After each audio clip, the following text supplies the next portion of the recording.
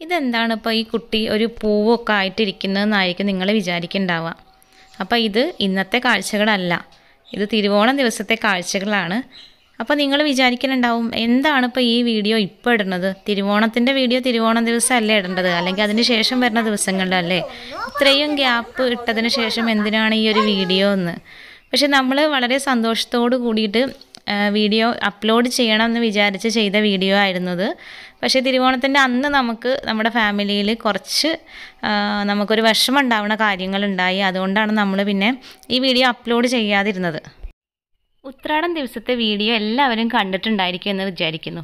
കാണാത്തവരൊന്ന് കണ്ടു നോക്കൂ. വളരെ രസകരമായിട്ടാണ് നമ്മൾ വീഡിയോ ഒക്കെ എടുത്തിട്ടുണ്ടായിരുന്നത്.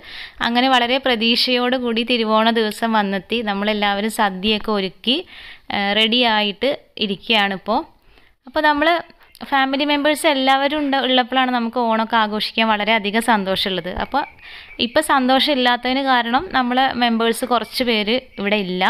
ശില്പക്കുട്ടിയുടെ വല്യച്ഛനും വല്യമ്മയും അതുപോലെ ഏട്ടനും ചേച്ചിയും പിന്നെ പോലെ അമ്മായി കുറച്ച് കഴിഞ്ഞിട്ടാണ് സാധാരണ ഓണത്തിന് അവിടുത്തെ ഓണ ആഘോഷങ്ങളെല്ലാം കഴിഞ്ഞിട്ടാണ് ഇങ്ങോട്ട് വരാറുള്ളത്. അപ്പോൾ നമ്മുടെ വീട് തറവാട് വീടായത് കാരണം തന്നെ ഓണമായാലും വിഷു ആയാലും എന്ത് പരിപാടി ആയാലും തിരുവാതിര ആയാലും ഒക്കെ നമ്മൾ ഇവിടെ തന്നെയാണ് ആഘോഷിക്കാറുള്ളത്. അപ്പോൾ ഇവിടെ എല്ലാവരും ഒരുപാട് ആളുകൾ വരും നമ്മളെല്ലാവരും കൂടി സദ്യ ഉണ്ടാക്കും ഭക്ഷണം കഴിക്കും അങ്ങനെയുള്ള കാര്യങ്ങളൊക്കെ കുട്ടികളൊക്കെ ഒരുമിച്ച് കൂടും. ഇതൊക്കെ തന്നെയല്ലേ വളരെയധികം സന്തോഷമുള്ള കാര്യങ്ങൾ ഇപ്രാവശ്യത്തെ കാര്യം എന്ന് പറഞ്ഞാൽ നമ്മളെല്ലാം റെഡിയായി തിരുവോണ ദിവസം ആയപ്പോഴാണ് ശില്പക്കുട്ടിയുടെ ചേച്ചി ശിശിര നിങ്ങൾ കണ്ടിട്ടുണ്ടായിരിക്കും വീഡിയോയിൽ ശിശിരയ്ക്ക് ചെറിയൊരു പനി വന്നു. അതുകൊണ്ട് തന്നെ അവരാരും തന്നെ ഈ ഒരു പരിപാടിയിലേക്ക് തിരുവോണത്തിന്റെ അന്ന് വീട്ടിലേക്ക് വന്നില്ല. കാരണം പനി ഇപ്പോൾ ഏത് തരത്തിലുള്ള പനിയാണെന്ന് അറിയാതെ എല്ലാവരും കൂടി ഒരുമിച്ച് കൂട്ടുണ്ടെന്നുള്ളത് കൊണ്ട് അവർ അവരെ വീട്ടിൽ തന്നെ ഇരിക്കുകയാണ് ചെയ്തത്. തിരുവോണ ദിവസമായതുകൊണ്ട് തന്നെ സദ്യ എല്ലാം വളരെ കേമത്തിൽ തന്നെയാണ് ഉണ്ടാക്കിയത്. ഞാൻ പറഞ്ഞല്ലോ തിരുവോണ ദിവസമാണ് ശിശിരക്കുട്ടിക്ക് പനി വന്നത്. അതുകൊണ്ട് തന്നെ ഞങ്ങൾ എല്ലാവരും ഉണ്ടാവും എന്നുള്ള പ്രതീക്ഷയിൽ തന്നെയാണ് എല്ലാവർക്കും ഉള്ള സദ്യ തന്നെയാണ് റെഡിയാക്കിയത്. പക്ഷേ അവർ വരാത്തത് കൊണ്ട് തന്നെ ഞങ്ങൾക്കെല്ലാം വളരെ വിഷമമായിരുന്നു. വീട്ടിൽ വലിയൊരു ബഹളമൊന്നും ഉണ്ടായിരുന്നില്ല. ശില്പക്കുട്ടി ഇടയ്ക്കിടയ്ക്ക് വന്നിട്ട് അടുക്കളയിൽ വന്നിട്ട് ഓരോന്ന് ചോദിച്ചിട്ട് പോവുകയാണ്. ഇപ്പം എന്താണ് റെഡിയാക്കുന്നതാണ് അവൾ ചോദിച്ചുകൊണ്ടിരിക്കുന്നത്. ഇന്ന് എത്ര തരം പായസം ഉണ്ടാക്കുന്നുണ്ടെന്നാണ് ശില്പക്കുട്ടി വന്നിട്ട് ചോദിക്കണത്. ചോദ്യത്തിൽ മാത്രമേ ഉള്ളൂ. പായസം ഒന്നും അവൾ കഴിക്കില്ല. പായസം അതുപോലെ തന്നെ നമ്മൾ വീട്ടിലുണ്ടാക്കുന്ന മധുര പലഹാരങ്ങളൊന്നും അവൾ കഴിക്കില്ല. ഐസ്ക്രീമും മിഠായിയൊക്കെ ആണെങ്കിൽ ഇഷ്ടം പോലെ കഴിക്കും. നമ്മുടെ സദ്യ എല്ലാം റെഡിയായി. ഇപ്പം ഉണ്ടാക്കിക്കൊണ്ടിരിക്കുന്ന പാൽപ്പായസമാണ്. ബാക്കി എല്ലാം റെഡിയായിട്ടുണ്ട്. അപ്പോൾ പായസവും ഇപ്പോൾ റെഡി ആയിട്ടുണ്ട് നമ്മൾ രണ്ട് തരം പായസം ഉണ്ടാക്കിയിട്ടുണ്ട്. ഓണമൊക്കെ ആയതുകൊണ്ട് വളരെ കുറച്ചേ ഉണ്ടാക്കിയിട്ടുള്ളൂ. പക്ഷെ എന്നാലും തിരുവോണം ആയതുകൊണ്ട് ഒരു രണ്ട് തരം പായസം ഉണ്ടാക്കിയിട്ടുണ്ട്. സദ്യ എല്ലാം റെഡി ആയതിന് ശേഷമാണ് ഞങ്ങൾ ഓണത്തപ്പനെ ഒന്ന് അലങ്കരിക്കാൻ വേണ്ടിയിട്ട് ഞങ്ങൾ മുറ്റത്തേക്ക് ഇറങ്ങി. അപ്പോൾ പൂക്കളെല്ലാം തന്നെ നമ്മുടെ വീട്ടിലുള്ള പൂക്കളൊന്നും അല്ല ഇപ്പോൾ നമ്മൾ ഉപയോഗിക്കുന്നത് വീട്ടിലുള്ള ചെമ്പരത്തി മാത്രമേ വീട്ടിലുള്ളൂ. അപ്പോൾ അതുകൊണ്ട് ചെമ്പരത്തിയൊക്കെ നമ്മൾ പറിച്ചു വെച്ചിട്ടുണ്ടായിരുന്നു. പിന്നെ നമ്മൾ കടയിൽ നിന്ന് കുറച്ച് വാങ്ങിച്ച പൂക്കളുണ്ടായിരുന്നു. അത് വെച്ചിട്ട് നമ്മൾ ബാക്കിയുള്ള പൂക്കളെല്ലാം വെച്ചിട്ട് തിരുവോണത്തപ്പനെ നമ്മൾ നന്നായിട്ട് അലങ്കരിക്കാനായിട്ട് പോവുകയാണ് ഇത് കാണുന്നവർ വിചാരിക്കുന്നുണ്ടാവും പൈസ കൊടുത്തിട്ട് പൂ വാങ്ങിക്കേണ്ട വല്ല കാര്യങ്ങളുണ്ടോ? ഇത്രയൊക്കെ ചെയ്യേണ്ട വല്ല ആവശ്യമുണ്ടോ എന്നുള്ളത്. പക്ഷേ ഞാൻ വിചാരിക്കുന്നത് ഇത് ഓണത്തിനല്ലേ നമുക്ക് ഇങ്ങനെ ചെയ്യേണ്ടതുള്ളൂ. അല്ലാത്ത വേറൊരു ഫങ്ഷനും നമ്മളിങ്ങനെ ചെയ്യേണ്ടതില്ലല്ലോ. പിന്നെ ഇതൊക്കെ നമ്മൾ ഇതൊരു മറ്റുള്ളവർക്കൊരു വരുമാന മാർഗം കൂടിയാണല്ലോ. നമ്മളുടെ ഒരു പത്ത് രൂപയോ അല്ലെങ്കിൽ ഒരു അമ്പത് രൂപയ്ക്കോ പൂ വാങ്ങിച്ചു കഴിഞ്ഞാൽ നമുക്കൊരു അൻപത് രൂപ നഷ്ടപ്പെട്ടാലും അത് മറ്റൊരാൾക്കൊരു ജീവിതമാർഗമാണല്ലോ ഇതൊക്കെ വിചാരിച്ചിട്ട് തന്നെയാണ് നമ്മൾ പൂക്കളൊക്കെ വാങ്ങിക്കാറുള്ളത്. ഇല്ലെങ്കിൽ നമ്മുടെ വീട്ടിൽ കിട്ടുന്ന പൂക്കൾ ഉപയോഗിച്ച് പൂവിട്ടാലും അപ്പോൾ ഈ അഭിപ്രായത്തോട് യോജിക്കുന്നവരുണ്ടായിരിക്കാം യോജിക്കാത്തവരുണ്ടായിരിക്കാം. നമ്മൾ മനുഷ്യരല്ലേ എല്ലാവർക്കും അവരുടേതായിട്ടുള്ള അഭിപ്രായങ്ങളും സ്വാതന്ത്ര്യങ്ങളും ഉണ്ട്. അപ്പോൾ അവനവന്റെ താല്പര്യത്തിനനുസരിച്ച് ഇങ്ങനെയൊക്കെ ചെയ്യാവുന്നതാണ്. നമ്മൾ ഓണത്തിന് ഡ്രസ്സ് വാങ്ങിക്കുന്നുണ്ട്. അതുപോലെ ഓരോ ഫങ്ഷനും വരുമ്പോൾ നമ്മൾ ഡ്രസ്സ് വാങ്ങിക്കും. ഓണം പെരുന്നാൾ ക്രിസ്മസ് ഇങ്ങനെയുള്ള സീസണിലൊക്കെ നമ്മൾ വാങ്ങിക്കും.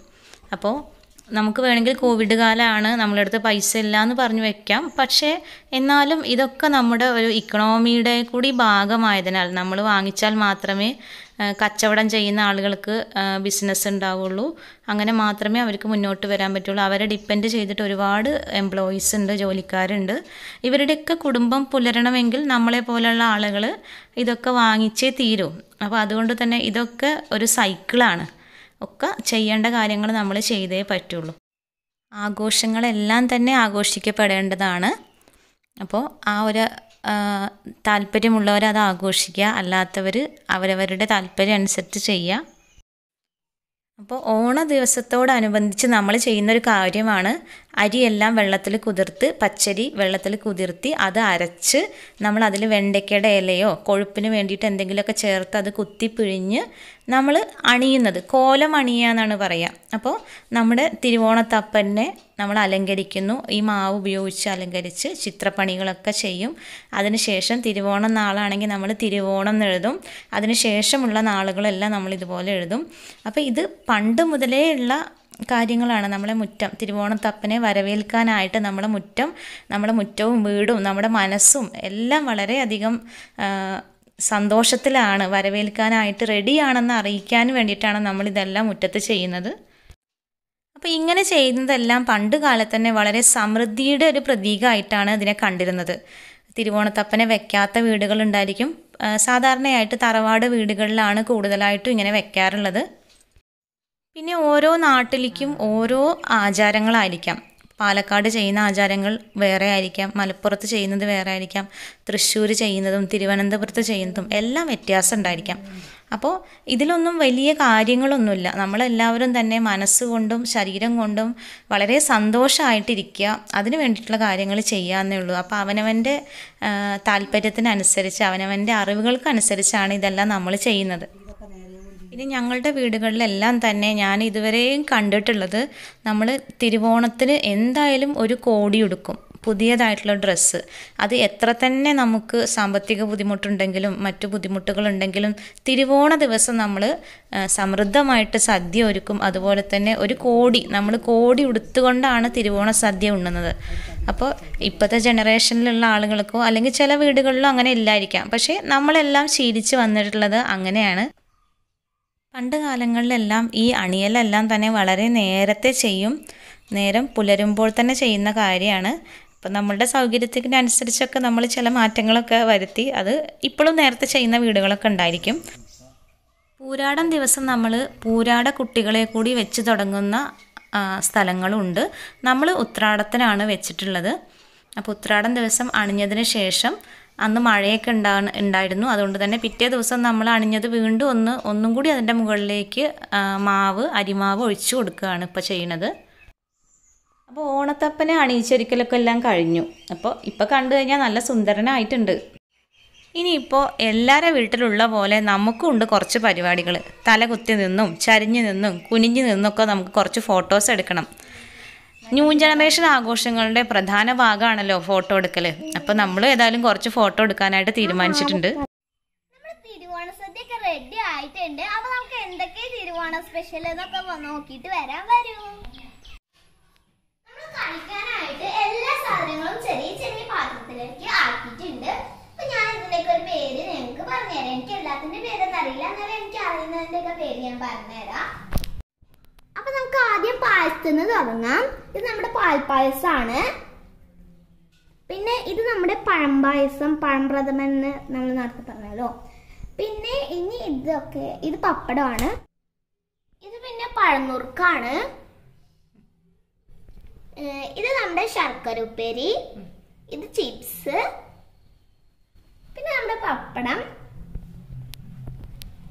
പിന്നെ ഇത് നമ്മൾ നമ്മളുടെ നാരങ്ങ ഉണ്ടല്ലോ.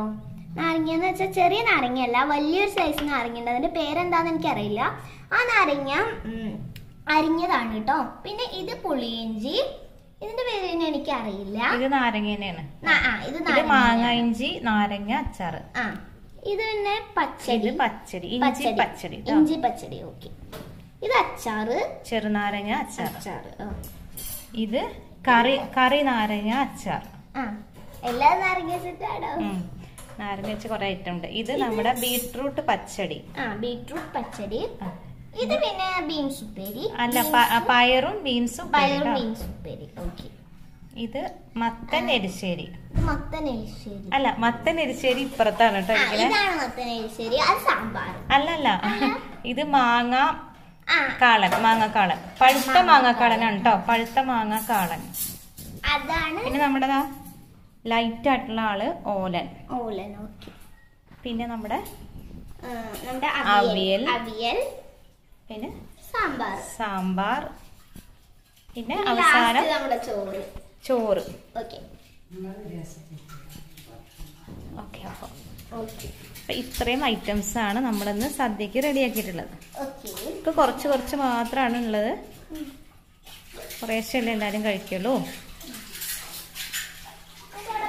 പാലത്തെ ഒന്ന് ടേസ്റ്റ് ചെയ്യാൻ പറ്റില്ല. നമ്മൾ സദ്യക്ക് വളമ്പിട്ടാണ് ടേസ്റ്റ് ചെയ്യാ.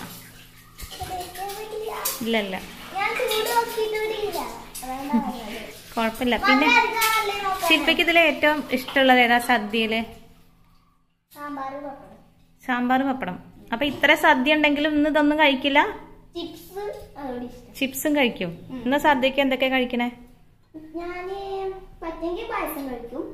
അല്ലെങ്കിൽ കഴിക്കില്ല പിന്നെ സാമ്പാർ പപ്പടം പിന്നെ ചിപ്സ് കഴിക്കുള്ളൂ ഇതെല്ലാം ആദ്യം ഓണത്തപ്പന് വിളമ്പണം എന്നിട്ട് നമുക്ക് കഴിക്കാം. ഓണത്തപ്പിന് നമ്മളിപ്പോൾ ഒരു ഇലയൊക്കെ ഇട്ടിട്ട് എല്ലാ സദ്യ വിഭവങ്ങളും നമ്മൾ വിളമ്പിയിട്ടുണ്ട്. നിലവിളക്കെല്ലാം കത്തിച്ച് നമ്മൾ വെള്ളവും എല്ലാം വെച്ച് അരിയും പൂവൊക്കെ ഇട്ടതിന് ശേഷം ചന്ദനത്തിരി എല്ലാം കത്തിച്ച് വെച്ചിട്ടാണ് നമ്മളിത് ചെയ്യുന്നത്.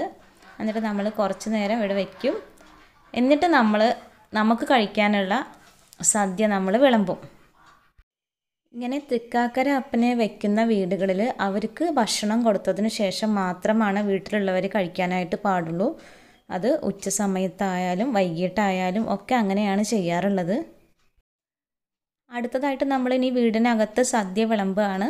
അവിടെയും നമ്മളൊരു നിലവിളക്ക് കത്തിച്ച് വെച്ച് നമ്മൾ സദ്യ വിളമ്പി കുറച്ച് നേരം ആ വിളക്കിന് മുന്നിൽ നമ്മൾ സദ്യ വെച്ചതിന് ശേഷമാണ് പിന്നീട് കഴിക്കുന്നത്. അപ്പൊ നമ്മൾ സദ്യ അല്ലേ ഇലയിൽ വിളമ്പിയിട്ടുണ്ട്. ഇനി കുറച്ച് നേരം കഴിഞ്ഞിട്ടേ നമ്മൾ കഴിക്കുള്ളൂ കേട്ടോ. അപ്പൊ നമ്മൾ ഇവിടെ പുറത്ത് ഇങ്ങനെ വന്നിരിക്കുകയാണ്.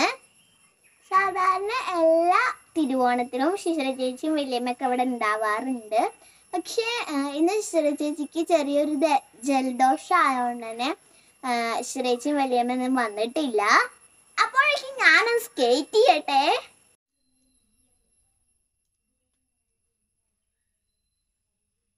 ഇല്ല ചോറുണ്ണാതെ ഇത് സ്കേറ്റിംഗ് ചെയ്യാൻ പോവാ. അതുകൊണ്ട് ചോറുണ്ടിട്ടില്ല. ചോറുണ്ണാതെ പോണേ. ചോറുണ്ണാനായില്ലല്ലോ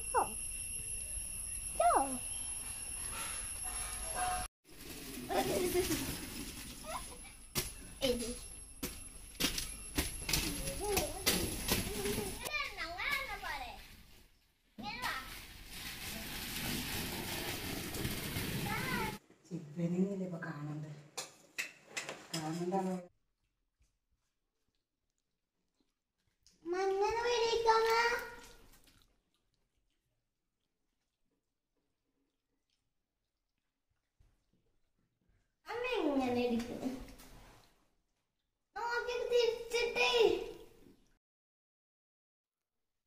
കോവിഡ് പ്രളയം പോലുള്ള മഹാമാരികൾ എത്രയും പെട്ടെന്ന് നമ്മളെ നാടിനെ വിട്ടുപോയി. നമുക്ക് നമ്മുടെ എല്ലാ ആഘോഷങ്ങളും ആഘോഷിക്കാനായിട്ട് ദൈവം നമ്മളെ അനുഗ്രഹിക്കട്ടെ. ഈ വീഡിയോ നിങ്ങൾക്ക് ഇഷ്ടമായെങ്കിൽ ലൈക്ക് ചെയ്യുക ചാനൽ സബ്സ്ക്രൈബ് ചെയ്യുക. പുതിയൊരു വീഡിയോ ആയിട്ട് കാണുന്നത് വരെ എല്ലാവർക്കും ബായ്.